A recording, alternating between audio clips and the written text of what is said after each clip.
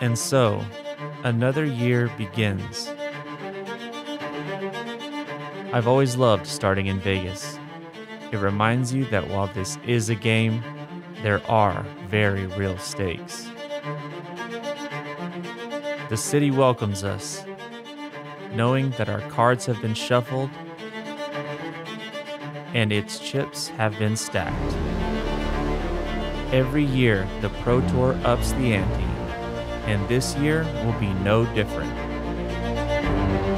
Here on tour, though, it can be easy to confuse a little bit of luck with good old fashioned skill. So, whether this season is a redemption arc, a return to form, or a continuation of 2022, you know these guys plan to bring the noise, the finesse, the boom sauce to 2023. But a successful season can mean different things depending on who you talk to. A first Pro Tour win, a U.S. championship, or another world title. So, who are you placing your bet on? The up and comers? Or the vets? The dark horse? Or the safe bet? Will Vegas deal us the same hand twice? Or is something new in the cards this year? Whatever happens, you know Jomez Pro will be right here to bring you the story. Both stories.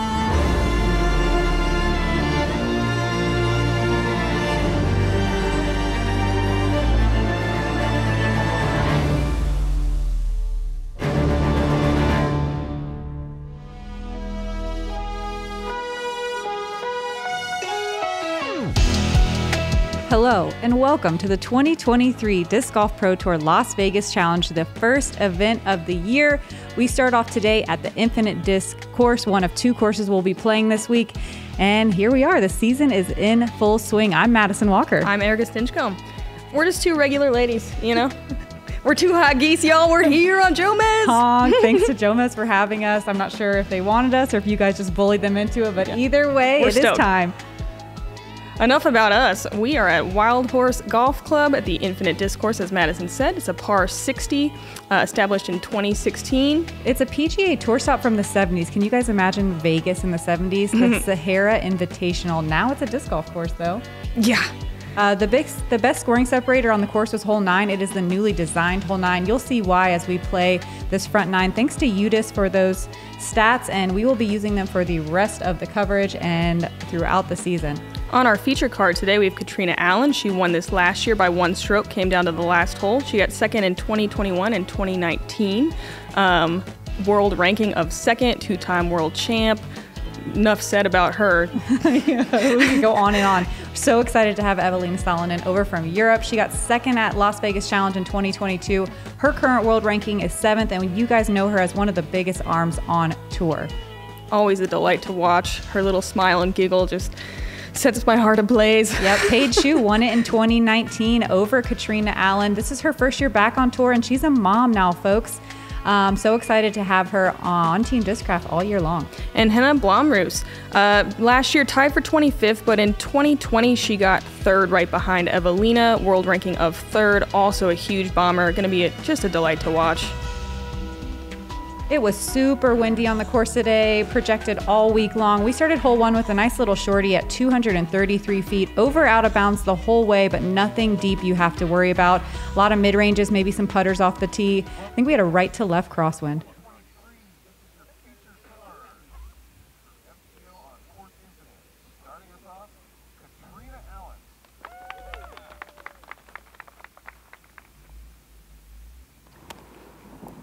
The wind was probably a sustained 18 to 20 with a little bit higher gusts. And Madison and I both played early, and the wind was ch- ever changing. For me, it was a pretty straight tailwind when I came through, so we'll just have to see how the disc reacts. Catrina's throwing her SP breaker.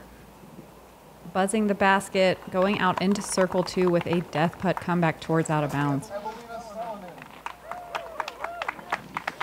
Kind of the safe play in the wind. You don't want to leave it short and then be putting for hazard for to try to save your par.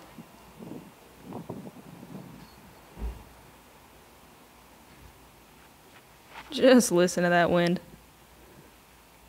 Evaliina throwing an AVR X3, but not quite making it. Yeah, hyzering out just a little early. Still smiling though. Paige Shue. If you didn't watch the 2019 Las Vegas Championship from GK Pro, she uh, won in a playoff. It was super cool. Just you know, pause, go watch that, come back.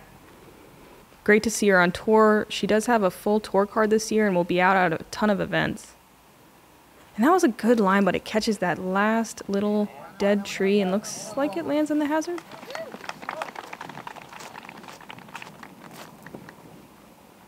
Everyone knows about hole one jitters, but can you imagine the first hole of the year type of jitters, especially in this type of conditions? This played as the eighth most difficult hole with only 7% of the field birdieing. That's only four. Oh, wow.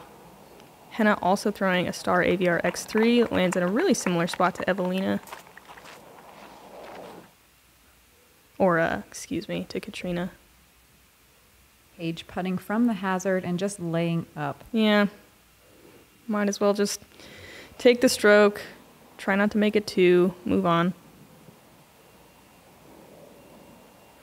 The hazard comes in very close, so Henna also just going to lay up.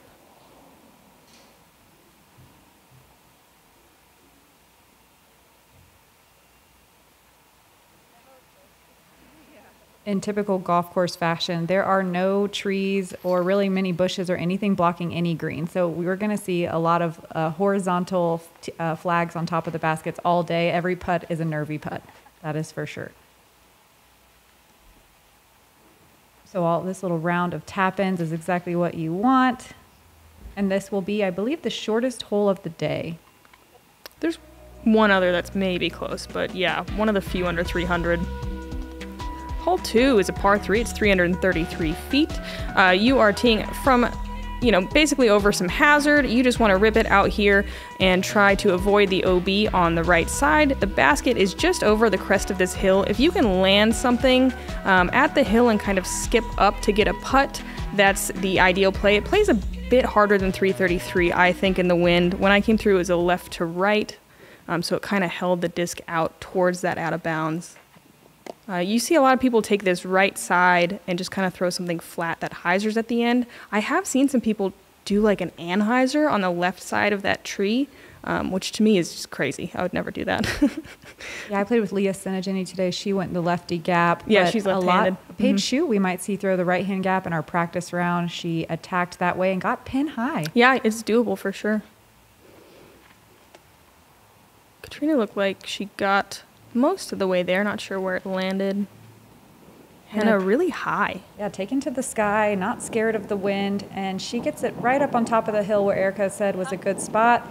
Um, there's a few bushes there you have to contend with, with on the green, and then that basket is actually on the side hill, so you got to get it in the basket or you could roll. Here's a destroyer from Evaliina as well. Smoked. And that's pretty much what you were trying to trying to do. Just land near that hill and skip up. You do have to get, I feel like, just a bit lucky to miss one of these little bushes. It's very difficult to air it out all the way pin high with that hill in the way. Yeah, there's oh, there it is. The. Nice. She kept it really low. Not sure if the wind carried it as much as she wanted. There is one big palm bush that you want to avoid on the short side of the hill. Let's see where she landed.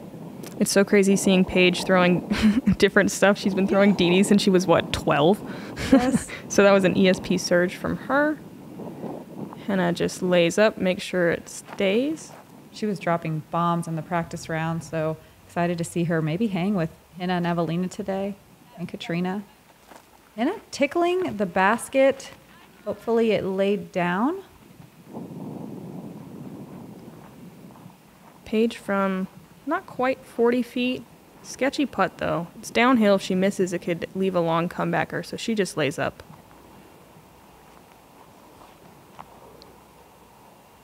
Catrina with a birdie look. Wow, she got way down there. That's awesome.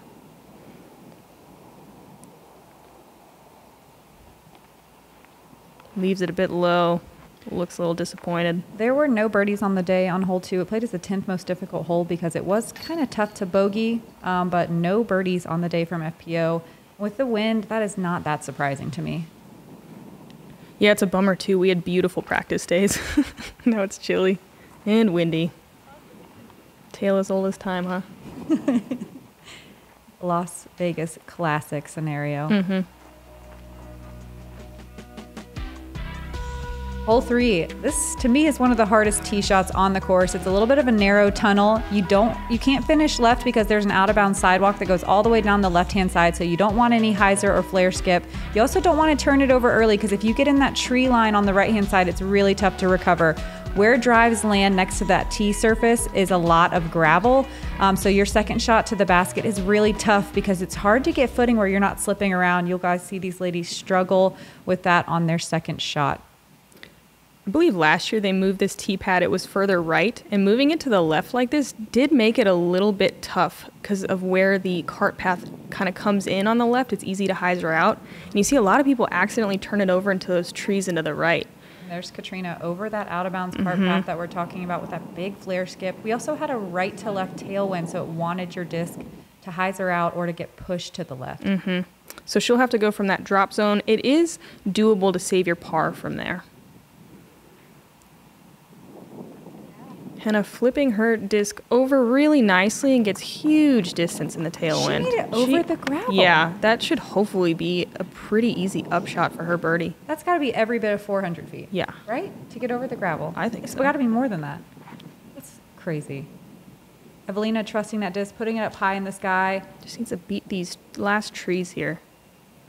And she does. Wow. My Who got is, farther? my mind is blown. Looks like Evaliina might take the cake here. Um, the the getting over the gravel makes this hole so much easier. Mm-hmm. Yeah, a lot of you know kind of what average distance throwers are going to land somewhere near that drop zone, and it kind of just splits the hole in half. Looks like Paige goes out of bounds as well, and we'll have to go to the drop zone. Yeah, it's about 320 to that little green area. If you can land there, that is the best case scenario, unless you can drive over the top of it. Catrina will go to the drop zone on that teeing area. From here, I want to say it's about 400 feet to the basket. I think a little bit closer. Oh, gets in the bullseye. Sorry, it's 335 feet to the yeah, basket. Yeah, that's why I was thinking it was pretty close to half. And look at that wind. Paige throwing, I know, throwing a nuke, and it does get a little bit of an unfortunate roll, and that'll be a slightly obstructed putt for her. So the only change, interestingly, from last year to this year is they called it a par five last year. And they must have gotten too many eagles because now it's a par four. Yeah, and then they moved the tee pad back too. They're mm-hmm. like, oh, no more eagles for you guys. Evaliina leaving herself definitely a tester putt. I, I would say in this kind of a wind, even a 20 footer feels tough, you know? And Evelyn is probably 28. Henna, I think, probably outside. Oh, yeah. Well, outside the circle, 45 maybe. So with Behind the change, a tree. Yeah, with the changes and in these uh, harsh conditions, there were only five birdies on the day. Hmm.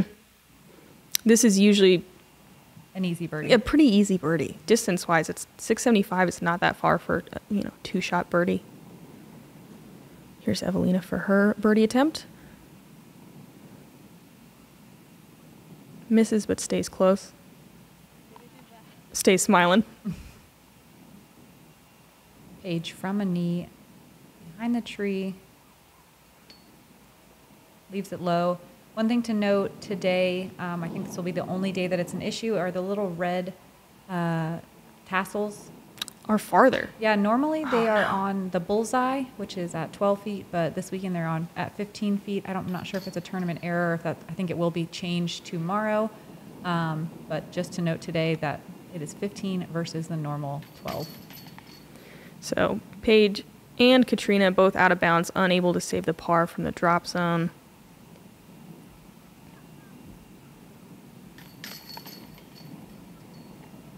Like pars for Henna and Evaliina.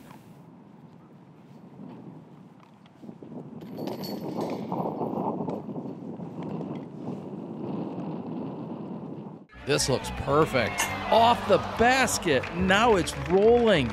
It's headed for the OB. This needs to sit. Oh my goodness. It's safe. Right on the line. She's going to have about a 30 foot putt for the win. Okay, here we go. The putt is up. Boom! It's in. Strong side with authority. What an incredible moment. Yes.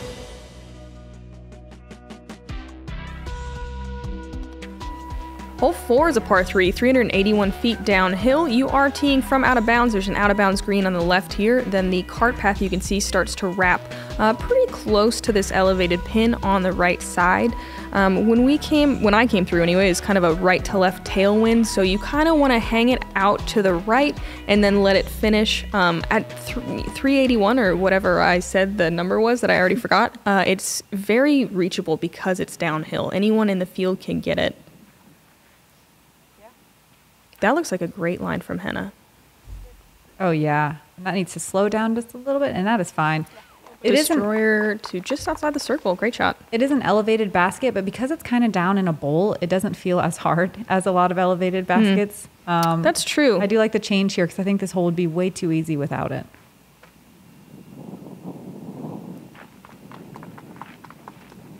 I wonder if Henna and Evaliina are going to throw the same disc every time. They both threw destroyers. Are we four for four now? Besties. yeah. Actually, I think so. Catrina just throwing a nice, gentle, super smooth hyzer. And she'll land in circle one, CTP so far. Tester, though. The wind doesn't look quite as bad at the moment. It is a little. But maybe it's just because everything's kind of dead and dry. yeah, it's a little blocked on this side of the course. Once you get down by the basket, up on the tee pad, you can feel it, but it doesn't affect your disc as much. Paige saws one off definitely earlier than she wanted. She was reaching this in practice, but she'll have a pretty straightforward up and down from here. That's the mistake to make. You're not really bringing any kind of out of bounds into play. And she lays it up into the false bullseye. Probably going to be some incorrect UDisc stats.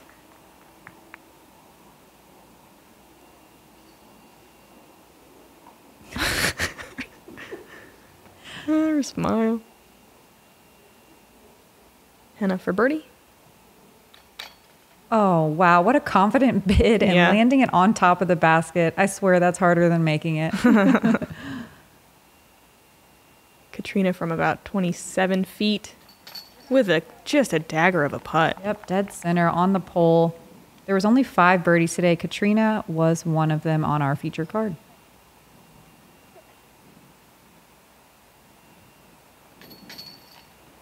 Nice little high catch on the basket. Paige will secure her par.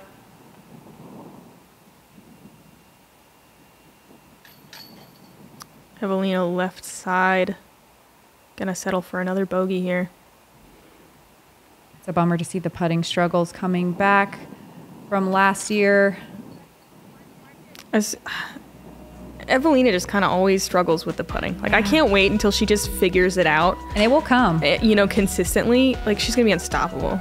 Yeah, hole five, uh, 378 feet. There is a turnover gap that most people take because there's some out of bounds on the right hand side, and it's such a sawed off hyzer that it's really difficult to carry the full 378 feet if you take that route. So we'll see some turnovers, some um, uh, force over hyzery type shots, and there is a bunker deep of the basket that is out of bounds, and one tree just before the basket that you want to try to avoid for your putt.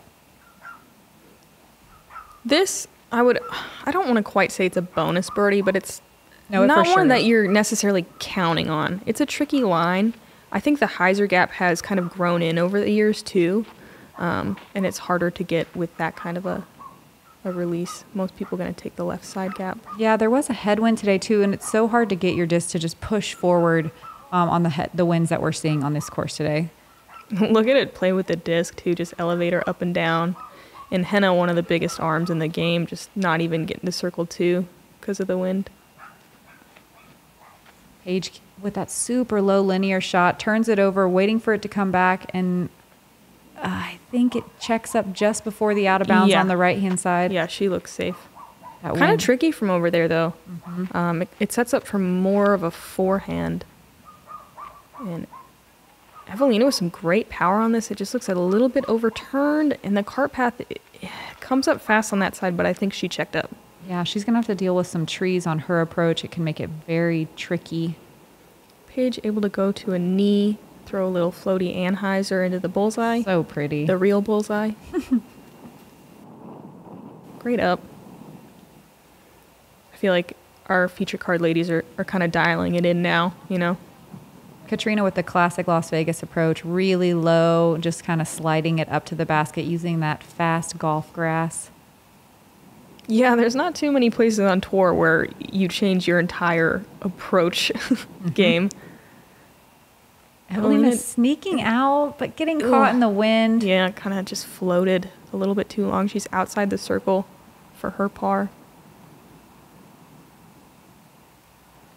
Henna from just outside circle two gives it a run and stays close. Love that little like throw slash bid. I feel like that's also classic Vegas. Yeah. yeah, that's true.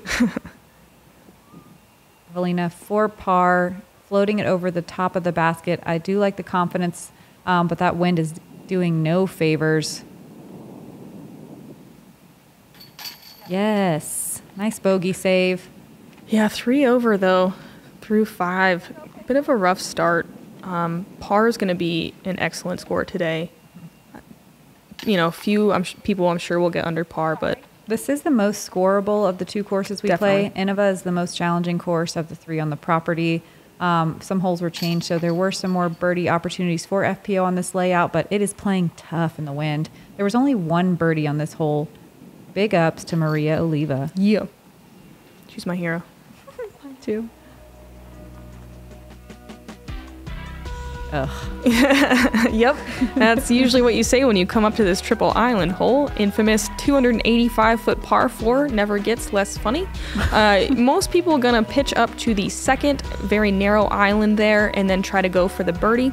Um, there are two drop zones, so if you you know go out of bounds on your first shot, you have to go to the drop zone on the first island. If you go out of bounds on your second shot, second island, and then you have to land on the third island um, safely, or you have to just keep going from that second drop zone. I think Catrina snuck on that corner. Yeah, look how proud she is of that shot. It's the worst feeling to me to come up to this and be like, yeah, I'm just gonna throw 60 feet to the first island. It's absolutely like, bizarre. I refuse. yeah, it's Nice it's not even a jump putt. Oh, Henna out of bounds It's not even a jump putt to the first island, but you'll see see people do it. in the wind. Yeah.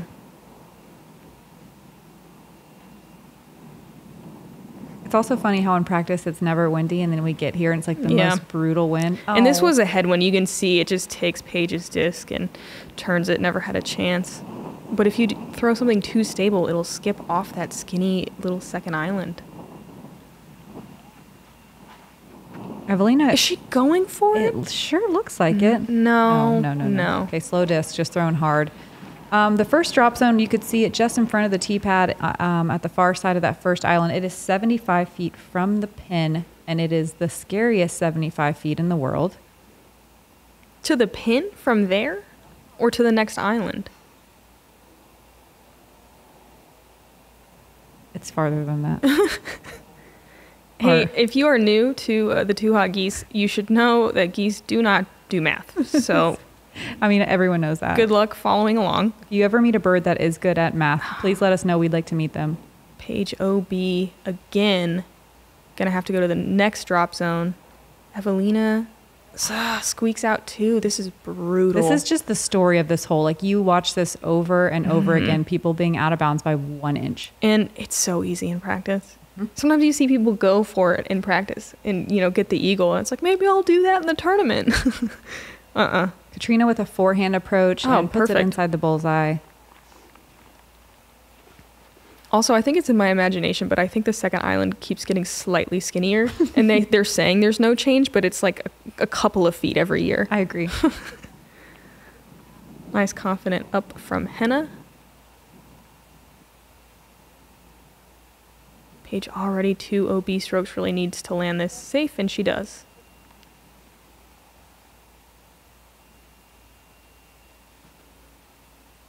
Evaliina with a little jumper Ooh. that Okay, Ooh. bites. these golf greens are faster than ever, I swear. Catrina clinks around in the chains but stays. Gets to one under for the round. This played as the most difficult hole of the day. Wow.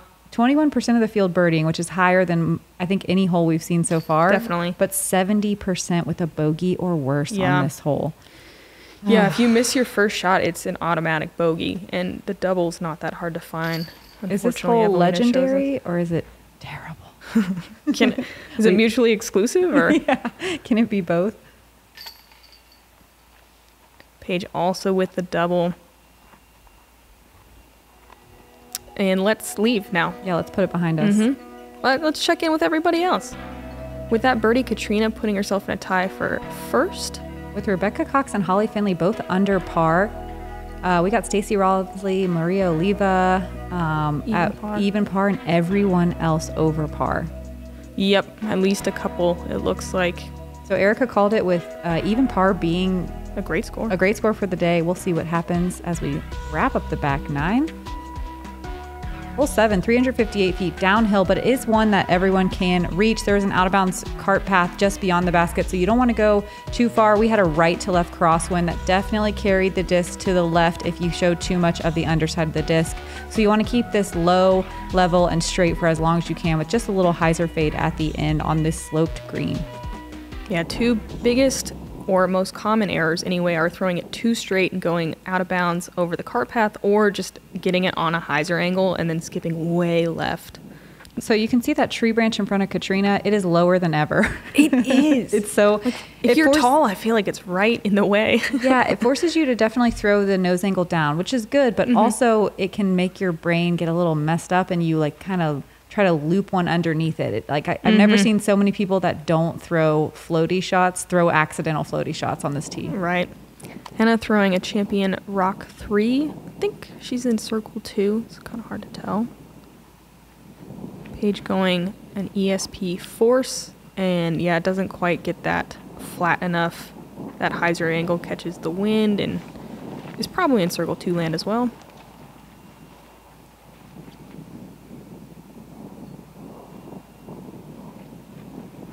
Evaliina looking to pick up a birdie here after struggling on the first few holes. Rock X3 as well. Do you think when they practice, they're like, what are we throwing on this hole? And then they try to talk each other out of whatever Right. if it's different. Just a little pitch up for Henna. These tree branches are so low. Yeah, I feel like getting there is half the battle, and then the rest is just getting lucky with an open putt to the basket. Mm-hmm. Paige really floats this one. I think it checks up really close. Really trusting that approach Mhm. disc. It's scary.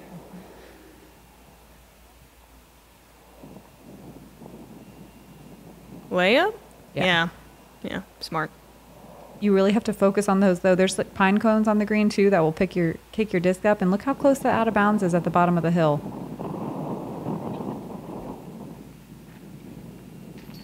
Nine percent of the field out of the 57 competitors getting birdies. I was only five on the day, and this is like one of the easiest holes in my opinion on the course. It is. I, I'm looking forward to playing this a second time. Um, if you've paid attention in years past, typically we play three courses, but we are playing this one twice, which is the most scoreable, I think, of the three courses. So I think everybody is looking forward to another chance to attack.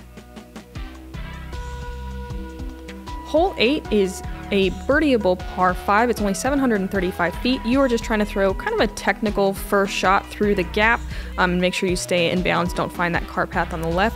Second shot is decision time. Do you go all the way to the green as this graphic shows and go for the eagle, or do you lay up short of the golf green and the water and then pitch up for what should be an easy birdie? Um, par on this one is not the best feeling. You want this one. Yeah, the basket is pretty precariously placed too between the out of bounds green and an out of bounds like bog, marsh. Yeah. Um, and it's very easy for your disc to roll past that out of bounds line into the tall grass, and you'll never see it again. I'm just kidding. Catrina smashes that pro line swirl torrent. That was an excellent shot. The wind was awesome for this hole. It allowed you to get some really big distance as long as you make it under that initial tree branch. that we see Henna kind of flirt with. Can you guess what Henna Le- Henna Lena? How do you combine their names into a celebrity name? Are throwing? Destroyer. Yeah. Celebrity. that was a good shot. It's okay to hug the corner uh, on this hole and try to get aggressive left, as long as you don't go get too much flare skip. There's plenty of space to There's work with over there. You really have to saw one off. And Paige looking like Nuke is going to be one of her go-to drivers. Um, not uh, it'll be interesting to see you know what changes in the calm conditions. It's just fun to see people throw new stuff, God, Evaliina just smushed that. and that's also a star destroyer. A little turned over, doesn't quite get the wind favor. Kind of a weird spot on a side hill footing wise. It'll be interesting to see if she goes for it. What do you think? Henna going for it? Oh, I don't think so. That angle's weird. Oh, I'm wrong. Another play here Uh-oh, that we did off. not mention is exactly what Henna just did. You can kind of just crush one over Mm-hmm. the green and let it sli- kind of slide off either the deep where Henna is or to the left and then Yeah. pitch across on your next shot. Short Um, and right are dangerous, but yeah, like Madison said, deep and left, plenty of room. Evaliina, Same as Henna. yep. Going for it, but erroring to the left. God, you have to get so far to be able to throw that shot that far. Well, I feel like you don't usually see people attack from the right. Mm-hmm. You usually see this, and you can kind of throw a straight shot or a hyzer. Man, that's so far. So Like, far. Her drive. Wow. Uh oh. Catrina shorts her upshot and rolls onto the green out of bounds. That'll be a pretty long putt to try to save par.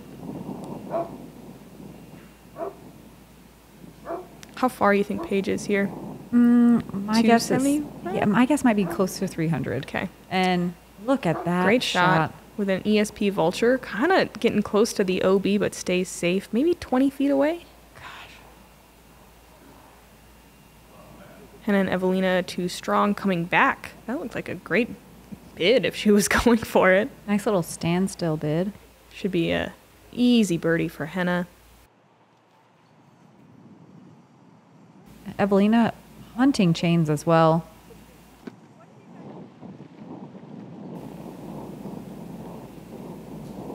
Catrina looking like a straddle step putt to try. Well, I was trying to do math. Can she say par. I mean birdie. birdie? Yeah, it's for birdie. That's wild. God, look at that wind. Didn't go out of bounds and birdie? My mind just exploded a little bit. Sorry. All right, Paige with Birdie look. everything's a I mean, eagle look, Eagle look. yeah. Everything's a tester though in this wind. Like normally that's a fairly routine distance, Yeah, but forty percent of the field taking a birdie or better. Um, normally, we would see a much higher percentage than that. There were also two eagles on the day. Hailey King and Ella Hansen both getting the three noise. on this kind of tweener par five, but in the conditions legit. Paige Shue makes good on her birdie comeback putt. Evaliina gonna have to settle for par. But I bet she's got a smile on her face. Henna with a nice easy birdie.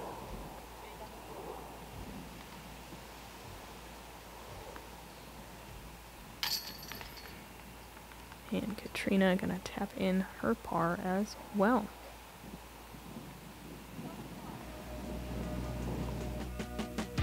And the final hole of the front nine, hole nine, newly designed. We used to have a tee pad back and to the left. It was a par four. Now we're tucked over to the right hand side. We have to throw through these kind of randomly um, assorted trees. There's a couple lines you can try to poke and hope through, or you, most people will go over the top. We had a screaming headwind, sometimes right to left, gusty.